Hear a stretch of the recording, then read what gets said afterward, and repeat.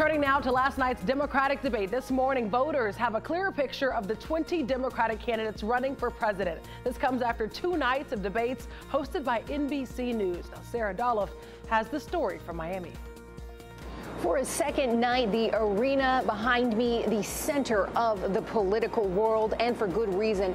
Four of the five frontrunners in early polling were on stage, engaging in sometimes heated debate on topics ranging from health care to immigration to race in America. Senator Kamala Harris and former Vice President Joe Biden squaring off on his civil rights record, and South Bend, uh, Indiana Mayor Pete Buttigieg touching on a police shooting in his his town, acknowledging underlying racial tensions not only there, but throughout the country. This is the first time that the candidates have really begun to criticize one another. Previously, they had reserved that for the current administration.